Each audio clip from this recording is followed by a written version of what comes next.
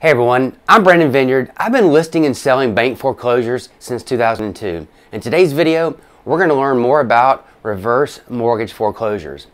Now, why are these important? Well, this loan has become more and more popular over the last few years. I'm listing more of these properties, and if I'm listing more of them, then I know they're being saturated throughout the market in different parts of the country. In 2021, you're going to see more and more reverse mortgage foreclosures. The procedures and policies they have are a little bit different than a lot of their foreclosures. In today's video, we're going to go over a lot of the rules and regulations and procedures to put an offer on a reverse mortgage foreclosure. Well, maybe you've seen this paid ad on Facebook already, but this is Arlo, America's number one rated reverse mortgage.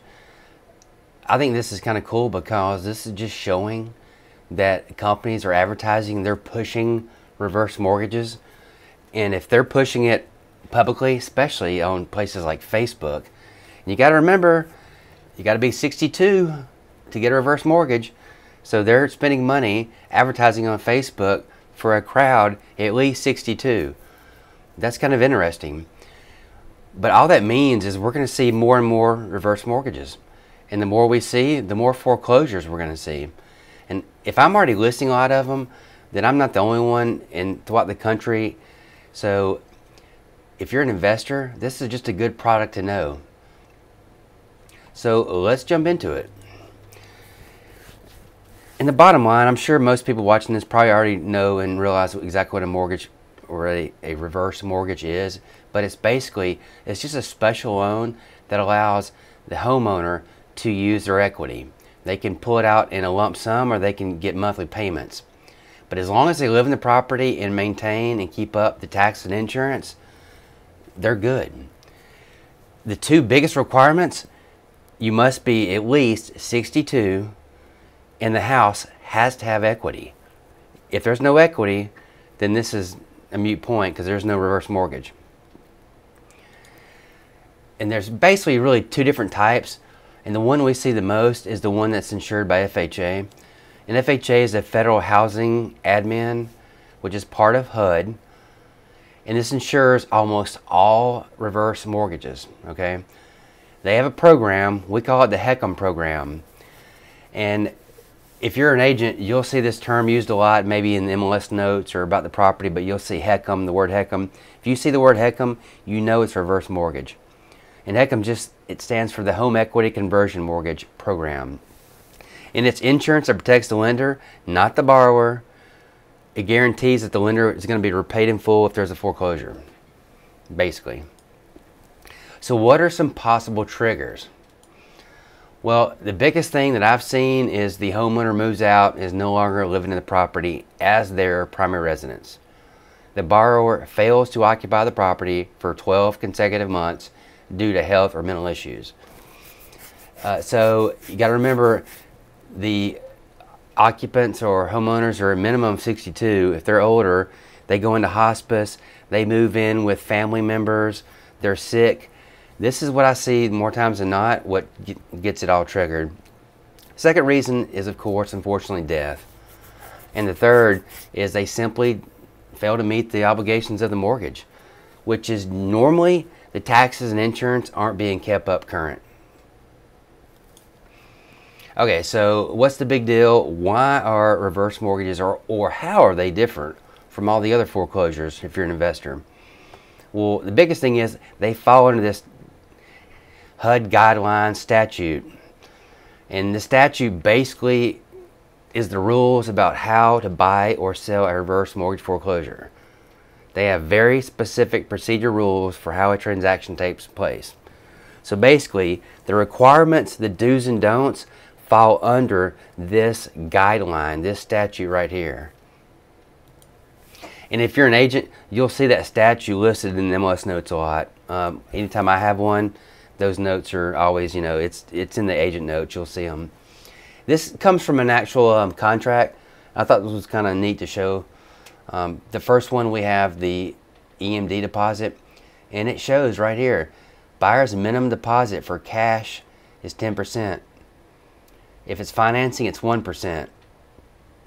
And here's some just easy, good advice for agents and buyers. If you're paying cash, and it's an investment property or it's a foreclosure, you should be putting down 10%. That's going to help you get a lot more offers accepted. The second one has to do with um, buyer's closing costs. And I take this as just a general disclosure basically in their denims Just by default, they're stating we're not paying any of this stuff. So, you know, just letting everyone know, buyers know, we're not going to pay or reimburse or credit buyers for FHA or other financing costs or fees, nor pay for credit of any costs, fees, surveys, home warranty plans, inspections, termite inspections, or repairs, unless, unless otherwise stated as defined above. And you'll see in a second, there are places and you can't ask for stuff. My advice always is don't, but we'll get in that in a minute.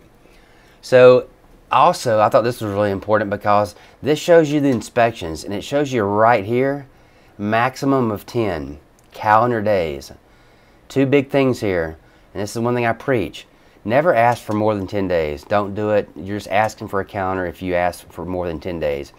A lot of programs will default and allow, like reverse mortgage foreclosures, 10 days. Fannie Mae's another one that allow up to 10 days. Don't ever ask for more than 10. I don't have any client I've ever worked for in my career, 18 plus years, that will allow default wise to more than 10 days.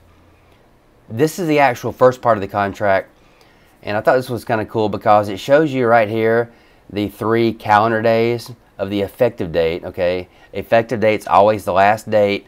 It's going to be the seller when it's a foreclosure. Um, the last date the seller signs the contract. That's your effective date. Okay, so three calendar days. Not business days. That's a big one. Never get business days confused. Always go by calendar days. But what's neat about this, and you'll see my arrows, it shows you all the blanks for things that they say they will pay for if you ask for them and it's granted. That's not the way it really works. Don't ask for that little stuff. Never put an REO contract in and ask for a survey or the little stuff. If you're going to ask for it, put it in a lump sum amount and just have the seller credit, you know, the buyer 2K, 3K, whatever might be in buyer closing costs. Don't henpeck it and itemize the stuff like this contract shows because they will not go for that. Okay, I wanted to finish up real quick and give you just a couple of just points that I came up with. Um, there's a couple in here that are different than any other type of foreclosure, but to start with, when it comes to reverse mortgage foreclosure, the list price is always obtained by the appraised value. Okay, it's always off the appraised value.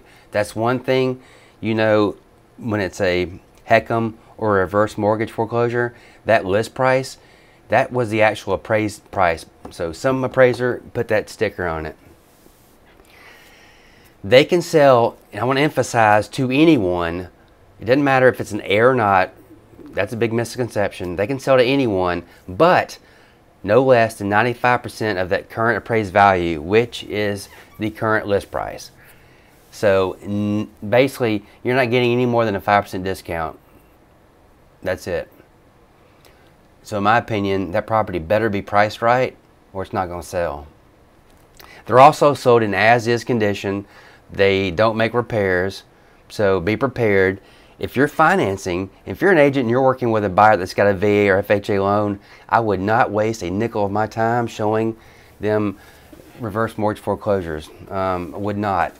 You, you might find a diamond in the rough and find one that's in good enough condition, but most of them, at least in my area, are never going to pass. So here, once again, the EMD is 10% if you're cash, 1% if you're financing.